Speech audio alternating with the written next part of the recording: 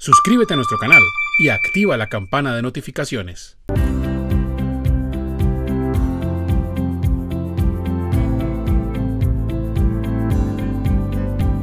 Una propiedad horizontal no obligada a facturar debe generar documentos soporte a personas naturales aunque no tenga autorización de numeración de la DIAN. A ver, entonces este documento soporte en compras a personas naturales que no facturan lo debe elaborar aquel que sí pretenda restarse un costo-gasto. Si el comprador pretende restarse un costo-gasto y le está comprando a alguien que no está obligado a facturar, entonces es el comprador el que se tiene que poner a elaborar el documento de soporte. Si es una propiedad horizontal y no sabemos, aquí dice que no está obligado a facturar, voy a suponer que es que es una de vivienda y las de vivienda entonces no, no, explotan sus áreas comunes. Las comerciales o mixtas sí explotan la mayoría de las veces sus áreas comunes y el artículo 19 raya 5 del Estatuto Tributario dice que las que explotan sus áreas comunes, esas sí declaran renta, listo, y llevan a la declaración de renta los ingresos de la explotación de áreas comunes y les tienen que enfrentar gastos. Pero si no están explotando sus áreas comunes, pues entonces no llevarían ingresos a la declaración de renta, no presentarían siquiera declaración de renta.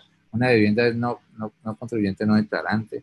Entonces, ahí sí tienen que examinar qué clase de copropiedad es. Si es declarante de renta y explota, es comercial o mixta, que si explota sus áreas comunes y está incurriendo costos gastos con personas que no facturan, pues haga el documento soporte. Ahora, si es una copropiedad de vivienda que no declara renta, nunca restar esos costos, pues no está obligada a ponerse a hacer ese documento soporte en compras a los no obligados a facturar. A propósito de las copropiedades, recuerden el 615 del Estatuto Tributario y el numeral 1.5 del concepto DIAN 563 de mayo de 2020, donde se explica que las cuotas de administración no es obligatorio soportarlas en factura de venta.